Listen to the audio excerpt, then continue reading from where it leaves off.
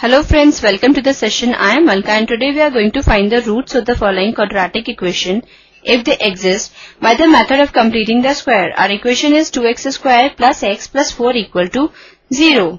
Now let's start with the solution.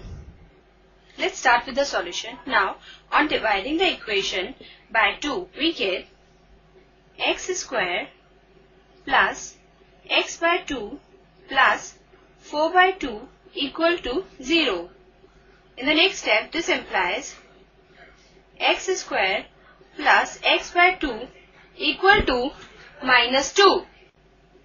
This implies x square plus 2 into 1 by 4 x plus 1 by 16 equal to minus 2 plus 1 by 16. This implies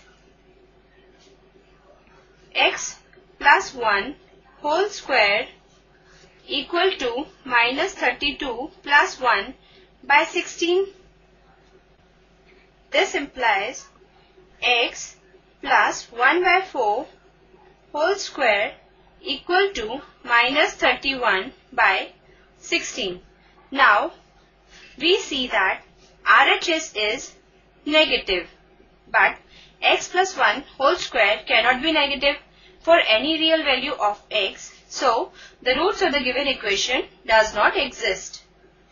Hope you understood the solution and enjoyed the session. Goodbye and take care.